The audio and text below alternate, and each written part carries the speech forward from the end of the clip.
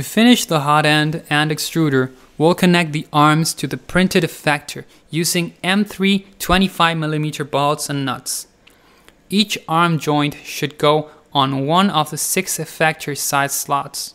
Repeat this process for the six arms and use some M3 bolts, washer and nuts to fix the hot end under the effector. Momentarily remove the cooler to tighten the M3 bolts and add it to the hot end and effector are tightly fixed together. Now we can use some spiral cable wrap to tidy up the combination of heater, thermistor, fan and extruder cables together. Pass the wrapped cable through the cable holder on the X carriage so that the cable stays neatly in place and does not get tangled up with other components.